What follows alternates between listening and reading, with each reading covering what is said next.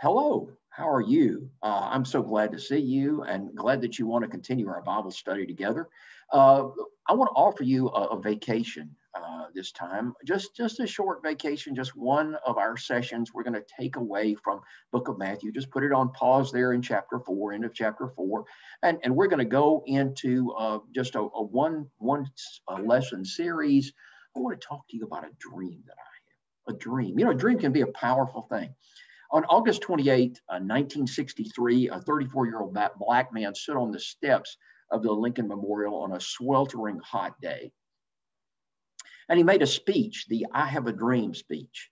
Uh, Martin Luther King Jr. spoke to over a quarter million people that day that were there in, in, on the steps of the Lincoln Memorial and then spread all the way down the sides of the reflecting pool, all the way down to the Washington Monument uh, in our nation's capital in Washington, D.C and and made a, a, a speech, a, a, passionate speech about a dream that he had for our country to usher in a, an era of greater racial equality and justice. And uh, I'll leave it to you to decide uh, how much progress we made on that dream, uh, because some people say this was the greatest speech of the 20th century uh, it, it, was quite a powerful moment and, and led, I think, to the, the fact that today he is viewed as something of a, a, national hero. We have streets, we have street in Oxford named after him. We have a national holiday coming up a week from Monday. His actual birthday is on uh, January 15th, but we celebrate it, I think, second or third Monday in, uh, in January every year. And, and so this, uh, this, this particular occasion his dream and his communication about that dream uh, really defined, I, I, think, in a way, part of the era, part of the movement that he led, and, and certainly his, his legacy.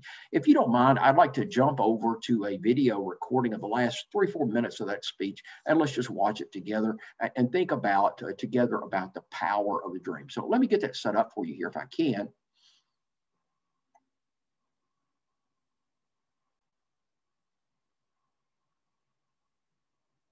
Into an oasis of freedom and justice. I have a dream.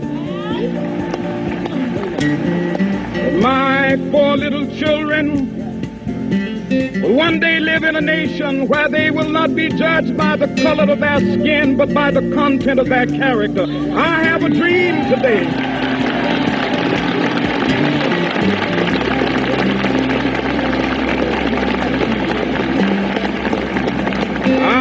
A dream that one day down in Alabama with its vicious racists, with its governor having his lips dripping with the words of interposition and nullification. One day right there in Alabama, little black boys and black girls will be able to join hands with little white boys and white girls as sisters and brothers. I have a dream today.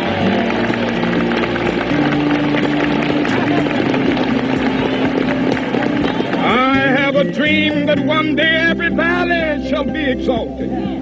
Every hill and mountain shall be made low, the rough places will be made plain, and the crooked places will be made straight, and the glory of the Lord shall be revealed, and all flesh shall see it together.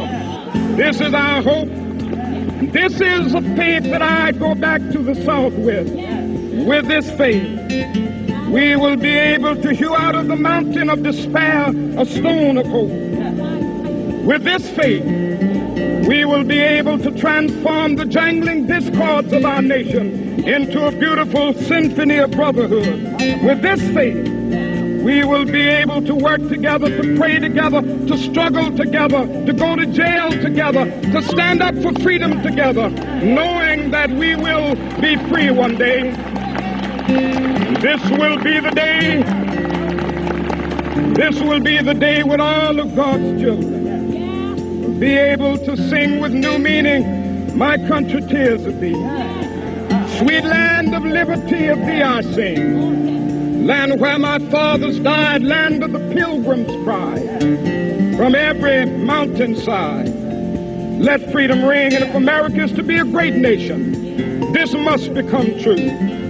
So let freedom ring. From the prodigious hilltops of New Hampshire, let freedom ring from the mighty mountains of New York Let freedom ring from the heightening Alleghenies of Pennsylvania. Let freedom ring from the snow-capped Rockies of Colorado. Let freedom ring from the curvaceous slopes of California. But not only that, let freedom ring from Stone Mountain of Georgia. Let freedom ring from Lookout Mountain of Tennessee. Let freedom ring from every hill and molehill of Mississippi, from every mountainside. Let freedom ring, and when this happens, when we allow freedom ring, when we let it ring from every village and every hamlet, from every state and every city, we will be able to speed up that day when all of God's children, black men and white men, Jews and Gentiles, Protestants and Catholics, will be able to join hands and sing in the words of the old Negro spiritual, free at last, free at last. Thank God Almighty, we are free at last.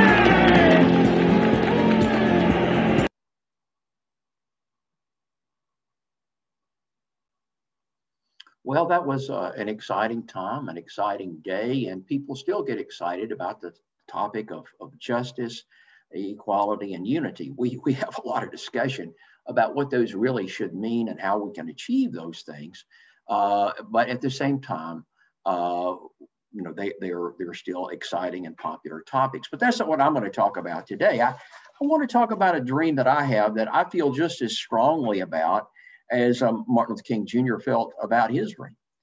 And I have a dream that, that our church congregation can be infected with a burning, ever more burning desire to be like the church that we read about in the book of Acts. In Acts chapter 2, it talks about the beginning of that church, and it talks about four main points of emphasis, a four part program, if you will, they had in that church. It said, First of all, that they devoted themselves to these four things. And so, at least at the core, we had a group of people that were all in. They weren't associate members, they weren't casual members, they weren't once in three week members. They were all in. And the things that they were all in for were the apostles' teaching, the fellowship, the breaking of bread, and prayer. I'd like to talk about each one of those four pillars that support uh, this dream for just a minute. Uh, the, the first one is that they were devoted, and I, I can't stress that word enough devoted to the apostles' teaching. Now, what does that mean? Jesus told his apostles to go and, and teach all the world, all ethnic groups, races, creeds, colors, you name it, to teach them everything he had commanded them. So when we look at the apostles' teaching, we're, we're actually looking at the teaching of Christ. That he said, I have all authority, and so I'm going to delegate to you this great task of spreading my teaching uh, around the world. So I, am I'm, I'm interested in, in our church congregation becoming committed and having a vision that's based on the apostles' teaching, no more, no less. And, and that means that when people want to become Christians, when we uh, talk to people about their need for salvation, which we should do sometime uh, more often, that, that we're talking to them about belief, repentance, and baptism, because that's what we see practiced in Acts 2 and Acts 8 and Acts 9 and Acts 10 and Acts 11 and Acts 16, Acts 22, and so forth and so on. That's what people did. They, they believed they repented and they were uh, immersed in water. We, we're going to have an emphasis uh, against our culture on, on, on sexual purity and sexual morality, that, that, uh, that, that sex is for one man and one woman that are tied together for life by marriage. It's, it's, it's simple, it's there. And we're not going to be afraid to, uh, to be upfront about telling people about that. And that will lead into us uh, having a clear gender roles based upon the apostles' teaching. You know, we can have a lot of discussion about that, but, but if we're committed to the idea that there are gender roles and we should be able to figure them out some kind of way based on the, the scriptures, we, we can move ahead with that. We're going to be uh, committed to the idea that there is, in fact, a priesthood of all believers, that everybody has a responsibility for, for spreading the gospel, for interceding for others, for, for mediating for others with, with the Lord, that, that we are in fact a nation, a kingdom of, of priests. uh, if, if, if, we, if, we, if we don't see the, the, the, the business of theology as being the domain of the specialist, you know, that's, that's, that's not what we read about in, in the book of Acts because uh, they had a great, they had some specialized roles within the body, but eh, you know every the people preached the word wherever they went acts 8 3 and, and this led to congregations that were that were uh, full of talented people who were using their talents for the lord. You know in, in acts 13 it lists the, the teachers they had in that congregation that church at antioch. And, and saul of tarsus is the last name on the list or next to last name? Hey you know what a great group of teachers. Uh, they they uh, I'm, I'm thinking that when we're devoted to the apostles teaching that we will do as that church in antioch did and send out missionaries to teach the gospel to other countries uh, from among our own uh, number. I have a dream that my congregation will be devoted to the fellowship. That greek word koinonia sharing a common life together and, and instead of uh, you know a, a, hurried 45 minutes once a week that, that we will encounter one another we will meet with one another almost daily. We read about a daily practice of, of christianity of interacting of sharing life together in, in acts 2 46 and, and 47 and 542 and 1711 that you know this this business of study this business of of uh, coming together to encourage one another. It was uh, it was a daily habit that that people that give sacrificially and that that view that they have all things in common, have a great sense of of sharing, that wash one another's feet, that laugh and cry together, that that uh, when when one is honored, they're they're all honored, that submit to one another out of reverence for Christ. And when people are this close together, conflict is inevitable. And, and so they will work together to solve uh, conflicts like Acts 6 and Acts 15. They'll, they'll have leaders that will sit down and, and listen to the whole thing and say, okay, group, uh, this is what we're going to do, or we're going to give you a choice. You tell us what you think is best, or which persons you think should, should handle this, this problem. I have a dream today that our church congregation can be more and more devoted to breaking bread. And so we wonder, breaking bread, does that mean we have fellowship meals together? And, you know, when COVID's passed, we get back in this week. That's one thing our congregation does well. We do fellowship meals well, and we want to do more of them. You know, we want to do more of them. And we want to do them better, and we want more people to come. But it also means the Lord's table, the Lord's supper. And you know, heaven forbid that we make this a minor, a, a, a hurried, a rushed, a second thought you know, I, I, I'm thinking that from time to time we should have whole worship services that are just structured around that Lord's table, and of course we need to have it uh, every every week, every week. uh, I'm I'm thinking that being devoted to breaking bread means that we make uh, an overt attempt to break down uh, cultural barriers within the body. That uh, just like that that group did back then that that, that uh, you know the, the gospel begins to spread. And so you know there may be some friction act 6 with the with the grecian widows and the and but but it keeps spreading it keeps spreading. Uh, you know uh, they they have uh, uh the gospel preached to this guy from ethiopia um, obviously a proselyte and chapter 8 and then in the latter half of chapter 8 there's the, the samaritans. They're becoming christians. And then in acts chapter 10 uh, the the uh, spreading of the gospel to the gentile through the, the household of, of cornelius. I have a dream today that my congregation will have a renewed commitment to prayer to uh, praying through seasons when we just have to wait on the Lord, like the group of 120, 120 people did there in, in the first chapter of Acts. That uh, we will pray when we're selecting the leaders, as they did there in, in uh, chapter 1 and verse 24. That we will pray when we're faced with uh, persecution, with, with bad press, with uh, troubles with those on the outside, as they did in chapter uh, 4 and verse 24. In chapter 6, the apostle said, you, you choose seven men to handle this problem with food distribution because uh, it, as for us, we, we're, going to delegate that because our, our focus is going to be on, uh, on teaching the word and prayer, on teaching the word and prayer. And so these are the two key tasks for our elders. If the elders understand that and us members understand that, it, it, it liberates them to do what they've been really uh, called to do, what they've been asked to do, and, and that is to do the ministry of the word and, and prayer. we'll pray when we're ministering to the sick, as they did in Acts, and also when we're sending out uh, missionaries. Now, here's my biggest dream of all. For some of you, my age, maybe a little bit older, maybe a little bit younger, boy, this sounds like an old song. This whole idea of restoring New Testament Christianity. But for younger people, not so much because we don't talk about it. We don't preach about it. We don't get excited about it anymore. It's kind of a secret. It's, it's kind of like buggy whips, you know, obsolete. You know, it's kind of like a manual typewriter. Maybe you've seen one of those. Maybe your mother, your aunt, your, your granddaddy may have had a manual typewriter, you know, but we just don't do uh, typewriters much anymore. It's all about that word processor and, and you know, those, uh, what we can do with our, with our thumbs on the, on the smartphone. My biggest dream, though, is that this idea, this wonderful, powerful, terrific idea that we don't need anything else.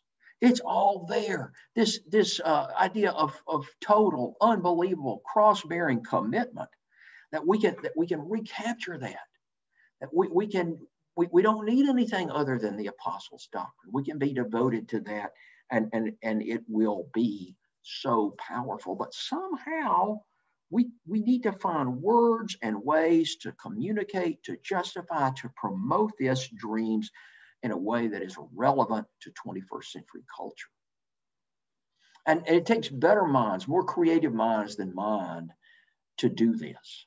But somehow our best communicators have not gotten very excited about this task of, of what we used to call New Testament Christianity. I don't know why. I'm not sure why. In Oxford, when he's not out on the road, there's a man I've, I've never met in person. I've never shook his hand, but I, I really love what he does. His name is Wright Thompson. Wright Thompson is a gifted sports writer and he he, he writes for uh, ESPN and and uh, many other uh, outlets. Uh, just even if you don't like sports, you you can really like reading what Wright Thompson writes. He collected a bunch of his essays in a book that was published a couple of three years ago called "The Cost of These Dreams." The cost Now, this book has got, uh, you know, it's a collection of essays, and they're about all sorts of different things. But many of them have a common thread, and that is he studied the lives of, of really some of the greatest heroes of sports, coaches and athletes. And as he looked at these, at these athletes who had achieved so much in their particular sport, he, he looked at what it had cost them and their families, all the fame, all the fortune, all the accolades that, that they had won, uh, what it took to get there had warped, had warped their relationships, had warped them, had made it Im- almost impossible for them just to relax and enjoy life, to look back on their laurels and to be satisfied. It was quite a task. And so the, their dream of becoming the champion the greatest ever, the GOAT, as we call it, greatest of all time, had been a costly dream. And, and I have no doubt that living for Jesus, that being like that church in the book of Acts, like the brothers and sisters we read about in the book of Acts, that will be called upon to pay a high cost, to pay a high cost oh, we may not be thrown to the lions, but we may lose some money. We may miss some sleep. We may, you know, forego uh, a, a, longer vacation or, or some personal luxury. Uh, we may have to follow Jesus every day And, and that is costly when you do it over a lifetime. Well, I, I shared my dream with you. Maybe you have some dreams you'd like to share back with me. You know how to how to get in touch with me. Please continue to pray for me as I do for you. I promise next week we'll be right back in to uh, Matthew's Gospel. Thank you for spending this time with me.